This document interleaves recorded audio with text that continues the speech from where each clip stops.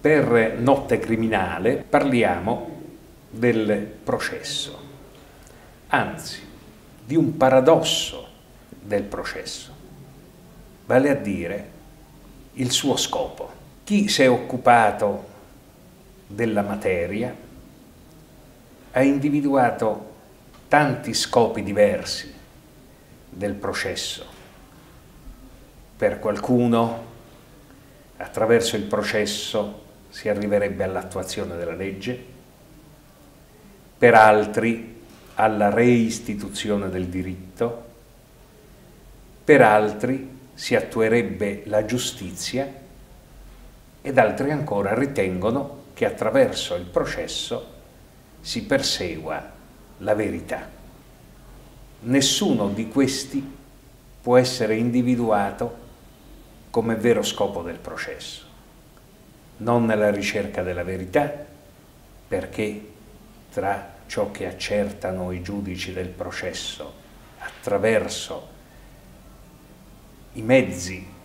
che l'ordinamento pone a disposizione per raccogliere le prove e attraverso la griglia delle esclusioni di talune prove o della predeterminazione del valore di altre, molto spesso la verità non si consegue attraverso il processo, almeno la verità storica, e conseguentemente attraverso il processo non si realizza la giustizia. E d'altra parte il giudicato, cioè l'impossibilità di ricorrere ad ulteriori impugnazioni che sono i mezzi attraverso i quali l'ordinamento corregge gli errori dei giudici, non dovrebbe avere spazio, mentre sappiamo che proprio attraverso il giudicato viene coperto più che con la terra l'insieme d'errori che i giudici possano aver commesso durante il percorso che dallo stato di ignoranza a quello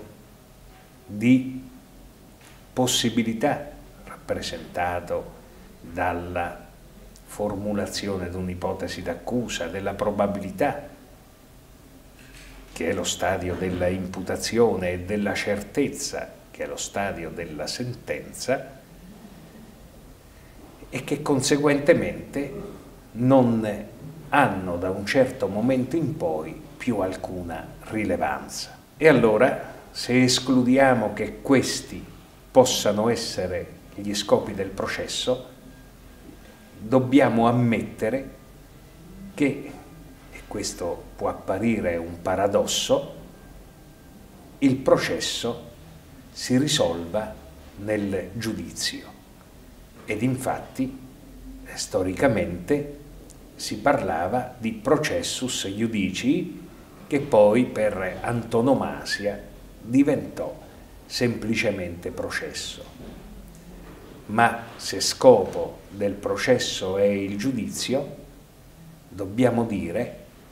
e questo può sembrare un paradosso, ma non lo è, che il processo, in quanto giudizio, non ha uno scopo. Lo scopo invece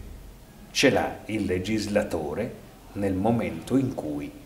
organizza la strada per arrivare al giudizio in un certo modo anziché in un certo altro.